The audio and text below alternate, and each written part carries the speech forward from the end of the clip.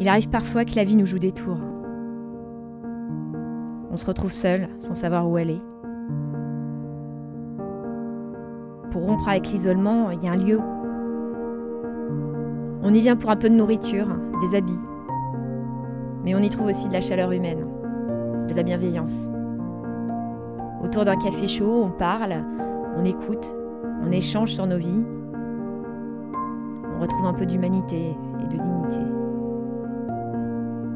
Et puis au fil des conversations, on parle aussi de nos maladies, de nos soucis. La santé, c'est pas souvent notre priorité. On la délaisse, et pourtant c'est souvent elle qui manque le plus. Dans les relais santé du secours populaire, des professionnels de la santé accueillent, écoutent, ils orientent aussi quand on ne sait pas où aller ou quoi faire.